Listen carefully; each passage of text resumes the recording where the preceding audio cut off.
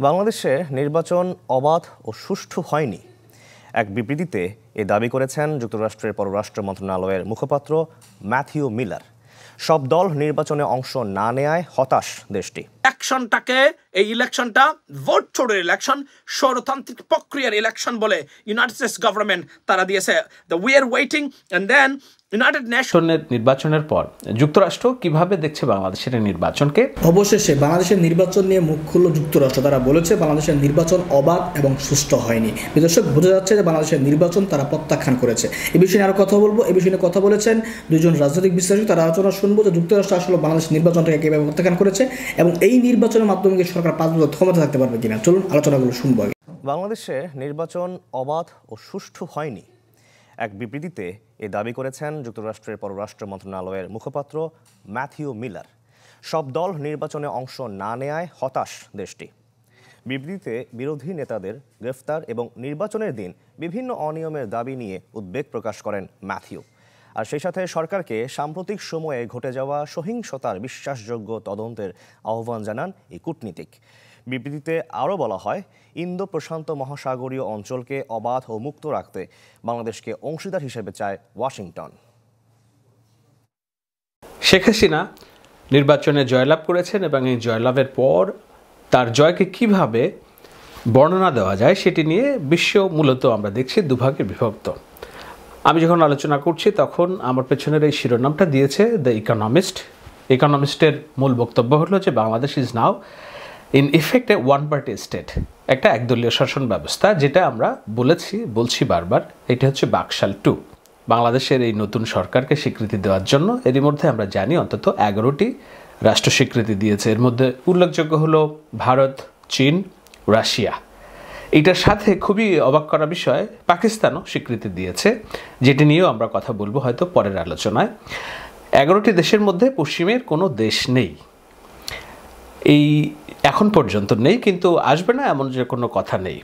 আমরা সর্বশেষ যুক্তরাষ্ট্র এবং যুক্তরাজ্যের যে বিবৃতি নির্বাচন নিয়ে, সেটি একটা শেষ ভরসাস্থল হিসেবে হয়তো দেখতে পারি, কিন্তু সেই বিবৃতিটাও আসলের মধ্যে কি বলতে যাচ্ছে সেটি একটি বড় প্রশ্নবোধক চিহ্ন। নির্বাচনের আগে ধারণা করা হচ্ছিল যে যুক্তরাষ্ট্র এই নির্বাচনের পরপরই শেখ হাসিনা সরকারের উপর স্যাংশন সহ অন্যান্য চাপ প্রয়োগ করবে এবং একই পথ অনুসরণ করবে পশ্চিমা দেশরাও কিন্তু আমরা দেখছি একদিন এবং চব্বিশ আটচল্লিশ ঘণ্টা পার হলেও এই নির্বাচনের পরে তারা স্যাংশন দেয়নি। এটা যেমন একটা ঠিক, সরকার দাবি করতে পারে যে তারা এই কঠোর যে যুক্তরাষ্ট্র এবং যুক্তরাজ্য, কঠোর পদক্ষেপ নেয়নি, কিন্তু তারা এই নির্বাচনের কোনো বৈধতা দেয়নি, সেটিও সত্য। কি বলেছে সেটি আমি আজকের এই আলোচনায় একটু আপনাদের বোঝানোর চেষ্টা করব যে যুক্তরাষ্ট্রের পর, এই নির্বাচনের নির্বাচনের পর যুক্তরাষ্ট্র কীভাবে দেখছে বাংলাদেশের এই নির্বাচনকে এবং যুক্তরাজ্য অর্থাৎ ব্রিটেন কীভাবে দেখছে এবং এইটার যেসব নানা রকম ব্যাখ্যা হচ্ছে সেই সব ব্যাখ্যাগুলো সম্পর্কে একটু ধারণা দেওয়ার চেষ্টা করব। যুক্তরাষ্ট্রের স্টেট ডিপার্টমেন্ট যে আনুষ্ঠানিক বিবৃতি দিয়েছে, ম্যাথিউ মিলার স্পোক্স পার্সন তিনি জানুয়ারির আট নির্বাচন সম্পর্কে বলতে যে একটা জায়গায় বলেছেন যে দি ইউনাইটেড স্টেটস নোটস অর্থাৎ নথিবদ্ধ করেছে the Awami League party won a majority seat in the January seventh parliamentary election United States remain concerned by the arrest of thousands of political opposition members and the reports of irregularities on election day. নির্বাচনের দিন যেসব অনিয়ম হয়েছে এবং বিরোধী দলের যে হাজার হাজার নেতাকর্মী কারাগারে সেটি নিয়ে উদ্বিগ্ন United States shares a view with other observers রাষ্ট্র যারা নির্বাচন পর্যবেক্ষণ করেছে, তাদের সাথে যুক্তরাষ্ট্র একমত that this elections were not free or fair and we regret that not all parties participated এই নির্বাচন অবাধ, সুষ্ঠু হয়নি এবং না অবাধ, না সুষ্ঠু, কোনোটাই হয়নি এবং আমরা অনুশোচনা করছি এবং দুঃখ প্রকাশ করছি যে নট অল পার্টিস পার্টিসিপেটেড এটা হলো যুক্তরাষ্ট্রের বক্তব্য। এখন এই বিবৃতির চুম্বক অংশটা নিয়ে সবাই কথা বলছে এবং একটা কনক্লুশনে দাঁড় করানোর চেষ্টা করছে। সেটা হলো যে, বাংলাদেশের নির্বাচনের পরে যুক্তরাষ্ট্রের নির্বাচনকে কীভাবে দেখে সেটি একটি বড় জানার আগ্রহ ছিল এবং কী ধরনের পদক্ষেপ নেয়। আমরা জানি এই ধরনের একটি নির্বাচন করার পরে যুক্তরাষ্ট্র কম্বোডিয়াতে যুক্তরাষ্ট্র সরাসরি এই নির্বাচনকে নাকচ করে দিয়েছিল, যেটা বাংলাদেশের ক্ষেত্রেও করেছে যে, এইটা ফ্রি অর ফেয়ার কোনোটাই হয়নি। এবং কিন্তু এর সাথে সাথে যুক্তরাষ্ট্র ঘোষণা করেছিল যে, কম্বোডিয়ার সাথে তাদের রাষ্ট্রীয় যেসব সহযোগিতার সম্পর্ক, সেগুলো সাসপেন্ড করেছিল। বাংলাদেশের ক্ষেত্রে সেটি করেনি একদম সহজ হিসাব। কিন্তু যুক্তরাষ্ট্র বলেছে যে বাংলাদেশের নির্বাচন অবাধ, সুষ্ঠু হয়নি। সেটা একটা বড় দিক এই বিবৃতির। এর যদি আমরা এই বিবৃতি থেকে কোনো একটা ধারণা নেওয়ার চেষ্টা করি, সেটা বাংলাদেশের পত্রপত্রিকা মোটামুটি এই লাইনটাই বেছে নিয়েছে। ব্রিটেন বলেছে যে বাংলাদেশের দ্বাদশ জাতীয় সংসদ নির্বাচন অবাধ, সুষ্ঠু নির্বাচনের মানদণ্ড অনুযায়ী হয়নি। দেশটির পররাষ্ট্র মন্ত্রণালয় সোমবার এই বিবৃতিতে এই কথা বলেছে। বলা হয় যে গণতান্ত্রিক নির্বাচন নির্ভর করে নির্ভরযোগ্য, অবাধ ও সুষ্ঠু প্রতিদ্বন্দ্বিতার উপর। মানবাধিকার, আইনের শাসন ও যথাযথ প্রক্রিয়ার প্রতি শ্রদ্ধা, গণতান্ত্রিক প্রক্রিয়ার অপরিহার্য উপাদান। নির্বাচনের সময় এসব মানদণ্ড ধারাবাহিকভাবে মেনে চলা হয়নি। ভোটারদের বিরোধী দলের উল্লেখযোগ্য সংখ্যক নেতাকর্মীকে গ্রেপ্তার নিয়ে আমরা উদ্বিগ্ন। নির্বাচনকে সামনে রেখে নির্বাচনের প্রচার চলাকালে সহিংসতা, ভয়ভীতি দেখানোর কর্মকাণ্ডের নিন্দা জানিয়ে বিবৃতিতে বলা হয়েছে রাজনীতিতে এ ধরনের কর্মকাণ্ডের কোনো স্থান নেই। আর একই ধরনের মন্তব্য করেছে যে যুক্তরাষ্ট্র জাতিসংঘের হিউম্যান রাইটস কাউন্সিল মানবাধিকার কাউন্সিলের প্রধান। তিনি বলেছেন যে পথ পাল্টান, অর্থাৎ যেই পথে হাঁটছেন সেই পথটা পরি- পরিবর্তন করুন। সত্যিকার অন্তর্ভুক্তিমূলক গণতন্ত্রের পরিবেশ তৈরি করুন। তারা বলেছে যে বাংলাদেশের রোববারের নির্বাচন, বিরোধী প্রার্থীদের সমর্থকদের উপর সহিংসতা দমন পীড়ন হওয়াটা পীড়াদায়ক বলে উল্লেখ করেন ফলকার তুর্ক। তিনি বলেন, এই নির্বাচন সামনে রেখে বিগত মাসগুলোকে বিরোধী দলের হাজার হাজার নেতাকর্মীকে নির্বিচারে আটক, ভয়ভীতি দেখানো হয়েছে। এ ধরনের কৌশল সত্যিকার অর্থে প্রকৃত গণতান্ত্রিক পরীক্ষার জন্য সহজ, সহায়ক নয়। আমি বাংলাদেশ সরকারের প্রতি এইসব নাগরিকের মানবাধিকার যেন সম্পূর্ণভাবে বিবেচনায় নেওয়া হয় এবং নিশ্চিত করা হয়, সেটার জন্য আহ্বান জানিয়েছে। আমরা যদি দেখি, অর্থাৎ পরপর এই যে তিনটি বিবৃতি, একটা হলো যুক্তরাষ্ট্র বলেছে বাংলাদেশের নির্বাচন অবাধ সুষ্ঠু হয়নি মানবাধিকার কমিশন বলছে পথ পাল্টানো। অর্থাৎ যেভাবে হাঁটছেন, সেভাবে হাঁটলে চলবে না। সত্যিকার অন্তর্ভুক্তিমূলক গণতন্ত্র পরিবেশ তৈরি করুন। আর তৃতীয় হচ্ছে, যুক্তরাজ্য বলেছে বাংলাদেশের নির্বাচন গণতান্ত্রিক হয়নি। এই যে যুক্তরাষ্ট্র এবং যুক্তরাজ্যের এই যে ইঙ্গোর মার্কিন অবস্থান, সেই অবস্থানটা আসলে এখান থেকে টেক আউট অর্থাৎ আমরা কি কনক্লুশন নিতে পারি? সেইটা নিয়ে নানান রকম ব্যাখ্যা আলোচনা হচ্ছে। বিশ্লেষকরা এটা বিভক্ত হয়ে পড়েছেন যে যুক্তরাজ্য এবং যুক্তরাষ্ট্র আসলে কি বলেছে। আমি আমার মতামত একটু পরে দিচ্ছি। তার আগে দু একজন বিশেষজ্ঞের পরামর্শ, কথাবার্তা আপনাদের শোনায় যেমন ডেভিড বার্গম্যান, যিনি বিএনপি এবং এই যে যারা রাজনীতি আন্দোলন করছে, তাদের দীর্ঘদিনের বন্ধু হিসেবে পরিচিত এবং সরকারের চোখে তিনি একজন ঘাতক এবং রাষ্ট্রদ্রোহী হিসেবেই বাংলাদেশকে তাক- ছেড়ে যেতে হয়েছে। তার হিসেবে সে বলেছে যে ইউএস এবং ইউকের স্টেটমেন্ট যেটা বাংলাদেশে আছে, এটা looks like Awami League got away with it here is the US statement got away with it অর্থাৎ আওয়ামী লীগের কাছে এটা একটা সহনীয় স্টেটমেন্টটা আওয়ামী লীগের কাছে সহনীয়। ডেভিড বার্গম্যানের একটা যুক্তি শুনলেন, আমি আরও একটা যুক্তি দিব, যেটা হচ্ছে আওয়ামী লীগের পক্ষে কিংবা এই সরকারের পক্ষে যে ইউএস একজন অ্যানালিস্ট। তিনি আইআরআই ইন্টারন্যাশনাল রিপাবলিক ইনস্টিটিউটের সাথে অ্যাডভাইজার হিসেবে কাজ করেন। তিনি বলছেন the US government statement on Bangladesh election বাংলাদেশের নির্বাচন নিয়ে যুক্তরাষ্ট্র সরকারের যে বিবৃতি, সেটার একটা মুদ্রা কথা হচ্ছে এ এল উইনস অর্থাৎ আওয়ামী লীগ জিতেছে ক্রিটিসাইজ প্রসেস যেই প্রসেসে জিতেছে, সেটার সমালোচনা করেছে কন্ডেমস ভায়োলেন্স ভায়োলেন্সকে কন্ডেম করেছে and look forward to continued partnership এবং সামনের দিকে এগিয়ে যাওয়ার কথা বলেছে, পেছনে যাওয়ার কথা বলেনি। এটা নিয়ে নানা রকম কথা হচ্ছে, পক্ষে পক্ষে নানা রকম কথা হচ্ছে। আমরা, আমার কাজ যেটা, সেটা হলো যে আমি সবসময় চেষ্টা করেছি একটা স্বচ্ছ ধারণা দেওয়ার জন্য। যখন যুক্তরাষ্ট্রের ভিসা স্যাংশন তৈরি হয় একটা হুমকি দেওয়া হয়, তারপর থেকেই এই নির্বাচন সংক্রান্ত আমি যতগুলো আলোচনা করেছি, সেখানে আমি বলার চেষ্টা করেছি যে এই নির্বাচনটা হওয়ার পর যদি একতরফাভাবে শেখ হাসিনা করে ফেলার চেষ্টা করে, তাহলে তার উপর একটা ইমেন্স প্রেশার আসবে পশ্চিমা দেশ থেকে। আমরা দেখে পাচ্ছি যে যুক্তরাষ্ট্র এবং যুক্তরাজ্য সেই প্রেশার তারা দিয়েছে। কিন্তু সেই প্রেশার এতখানি কি যে নির্বাচনের পরপর শেখ হাসিনা সরকার পড়ে যাবে? না, আমি যদি সহজ ভাষায় বলি, এত প্রেশার যুক্তরাষ্ট্র এবং যুক্তরাজ্য দেয়নি। কিন্তু তারা একটা ভয় ঢুকিয়ে রেখেছে এবং এখনও পর্যন্ত আনুষ্ঠানিকভাবে এই সরকারকে কংগ্রাচুলেট অভিবাদন না জানিয়েও তারা একটি ভয় রেখে দিয়েছে এবং সেই ভয়টি হলো বাংলাদেশের নির্বাচন যেটা হয়েছে, যে প্রক্রিয়ায় হয়েছে এবং শেখ হাসিনার যে জয়, সেই জয়টা প্রশ্নবোধক এবং এটি নিয়ে তারা প্রশ্ন তুলতেই থাকবে। কিন্তু প্রশ্ন তোলা আর যারা গণতন্ত্রের জন্য লড়ছে তাদের পক্ষে স্পষ্টভাবে অবস্থান নেওয়া, এটা দুটোর মধ্যে তফাত আছে। প্রশ্ন তুললেই অন্তত যারা গণতন্ত্রের জন্য লড়ছে তাদের পক্ষে অবস্থান নেওয়া হয়ে যায়। এক অর্থে সেটা হয়ে যায়, কিন্তু আবার যায় না। কারণ হলো যেখানে ভারত এবং রাশিয়া এবং চীন, শেখ হাসিনা সরকারের সাথে কাজ করার জন্য শুধুমাত্র বিবৃতি আর বক্তৃতার মধ্যে তারা সীমাবদ্ধ না, তারা অ্যাক্টিভলি কাজ করেছে, তারা মাঠে কাজ করেছে, তারা একেবারে শেখ হাসিনার জয়কে নিশ্চিত করার জন্য তার যেসব একতরফা আয়োজন, সব একতরফা আয়োজনের বৈধতা যেমন দিয়েছে, তেমনি নানান রকম পরামর্শ এবং শক্তি সামর্থ্য দিয়েও তারা সহযোগিতা করেছে। অন্যদিকে যারা গণতন্ত্রের জন্য লড়ছে, তারা কেবল দেখছে পশ্চিমা দেশের কিছু বক্তৃতা, বিবৃতি, যেই বিবৃতিগুলোর ধরন একই রকম, এটার মধ্যে কোনো নতুনত্বের কিছু নেই। যুক্তরাষ্ট্রের নির্বাচনের পর যে বাংলাদেশের নির্বাচনকে অবাধ সুষ্ঠু হয়নি, যেটা বলেছে, সেটি একটি উল্লেখযোগ্য দিক। ব্রিটেন যেটা বলেছে সেটা একটি উল্লেখযোগ্য দিক। জাতিসংঘ মানবাধিকার কমিশন এবং বিশ্বব্যাপী যেসব প্রতিবেদন হচ্ছে, সেটি একটি উল্লেখযোগ্য দিক।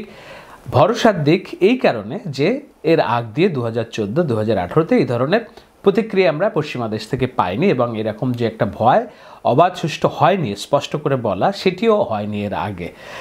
এখন এর মধ্য দিয়ে শেখ হাসিনা সরকারকে দেশ চালাতে হবে কিংবা সামনের দিনে এগিয়ে যেতে হবে এবং এর মধ্যে দিয়ে যারা আন্দোলন করছে রাজনীতির জন্য, নির্বাচনের জন্য, গণতন্ত্রের জন্য, তাদেরকেও এর মধ্য দিয়ে যেতে হবে।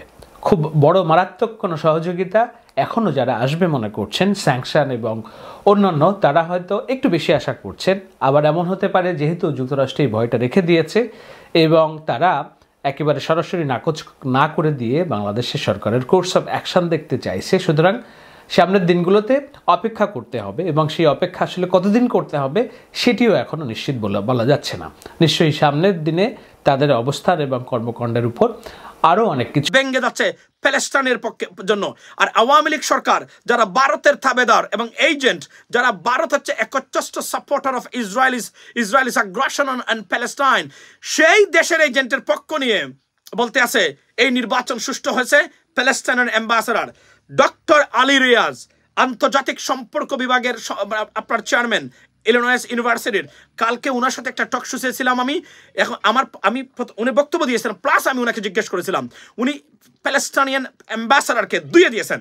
আমি এই ভিডিওটা আজকে রাত্রে অথবা কালকে সকালে আপনাদের জন্য আনতেছি। এটা অলরেডি রেকর্ড আমার কাছে আছে। আপনার, আমি শেয়ার করেছি সেই লিঙ্ক প্লাস আমি ইউটিউবে দেওয়ার জন্য সেটা আমি করতেছি। সুতরাং আমাদের সার্থকতা ইউনাইটেড স্টেটস গভর্নমেন্ট রিকগনাইজ করেছে এই নির্বাচন ভোট চুরি। বলছে নট ফ্রি ওর ফেয়ার অর্থাৎ একটা ইলেকশনটাকে আপনার আনুলমেন্টে দেওয়ার জন্য বা বাতিল করার জন্য যা যা প্রক্রিয়া শব্দ ব্যবহার করতে হয়, সেখানে তারা করেছেন। বাট বাকি যে কথাগুলো তারা বলেছেন তারা বলেছেন যে এই নির্বাচন বা যেহেতু ইলেকশন ফেয়ার হয়নি, সুতরাং এই সরকার, অবৈধ সরকারে আপনার যুক্তরাষ্ট্রের মানে মানে to the eyes of the United States right সুতরাং আমাদের সবার প্রচেষ্টা। ভোট চুরির নির্বাচনে আপনারা বাংলাদেশের মানুষ যেভাবে উঠে দাঁড়িয়েছিলেন এবং তাদেরকে প্রত্যাখ্যান করেছেন তিন পার্সেন্ট এবং পাঁচ পার্সেন্ট ভোট দিয়ে, এটা আমার বক্তব্য নয়। পাঁচ, তিন থেকে দুই থেকে পাঁচ পার্সেন্ট ভোট হয়েছে, সেটা বলেছেন খালেদ মহিউদ্দিন ডিডব্লিউ এবং ডিডব্লিউ অনেকগুলো রিপোর্ট করেছে। গতকালকে আমি ওই টকশুতে ডক্টর আলী রেজের টকশুতে বিশ্বের মিডিয়া কি বলেছে বাংলাদেশের সৌরতন্ত্রকে বা সৌরশাসককে নিয়ে, সেটা আমি প্রেজেন্ট করেছিলাম। বাই ওয়ে কিন্তু আজকে যুক্তরাষ্ট্র দিয়েছে we are waiting for the United Kingdom and Canada Canada যে সত্যিকার অর্থে ইলেকশনকে গ্রহণ করেনি, তার একটা সুস্পষ্ট প্রমাণ হলো কেনেডিয়ান হাই কমিশনের পেজে গেলে, আপনি দেখবেন সেখানে আমার একটা কমেন্ট আছে। তারা বলেছে কেনেডিয়া কানাডা থেকে যে অবজারভার আসছিলেন, তাদের সাথে তারা দে, তারা ডিস্টেন্স প্রকাশ করেছেন। তারা তাদের কাছ থেকে সরে গেছেন। বলেছেন যে, এই লোকটা যে আপনার ইলেকশন নিয়ে যে কথা বলেছে। এটা ক্যানাডিয়ান গভর্নমেন্টের কথা নয়। এর মানে কি? এর মানে they are very concern about it এবং তারা নিজেদেরকে সরিয়ে দিয়েছেন এই ফাউল বৌগাস এবং করাপ্টেড এবং পেইড এজেন্ট যে কানাডা থেকে গেছেন। সেম ইউনাইটেড স্টেটস গভর্নমেন্ট তারাও কিন্তু একটা সেক্সুয়ালি অ্যাসল্টের মামলায় দুইবার আপনার চার্জ প্রাপ্ত সেই সাবেক congressman corrupted congressman I am looking for his name and his Twitter by the way তো সে আপনার বলেছে ইলেকশন হচ্ছে, তবে আপনার ব্রিটিশ যে জার্নালিস্ট উনি বলেছেন, আপনারা দেখেছেন গতকালকে, উনি বলেছেন, আমি যে ইলেকশনটা দেখলাম, সেটা নর্থ কোরিয়ান ফরম্যাটে বা স্টাইলে এবং সবচেয়ে আশ্চর্যের ব্যাপার হলো, একটা পশ্চিমা মিডিয়া আমি যেহেতু গতকালকে আমি এটা প্রেজেন্ট করেছি লেডিস এন্ড জেন্টলম্যান বলে নাই, এই ইলেকশনটা ফ্রি হয়েছে ফেয়ার হয়েছে, বা কোনো অক্ষত্রে গণতন্ত্রের বিজয় হয়েছে বলে স্বৈরতান্ত্রিক one sided Bangladesh heading to heading to North Korean style government বা গভর্নিং সিস্টেম সব কিছু বলেছে তারা। শুধুমাত্র ভারতীয় মিডিয়া বাংলাদেশকে বলেছে শেখ হাসিনা না গেলে বাংলাদেশ তালেবানি রাষ্ট্র এবং এই এই প্রপাগান্ডাটা বাংলাদেশি মুসলমানদের বিরুদ্ধেই তারা চালায়। এবং এই প্যালেস্টাইন অ্যাম্বাসেডার প্যালেস্টাইনের অবজারভার এসে বলছে এই নির্বাচন নিরপেক্ষ হয়েছে।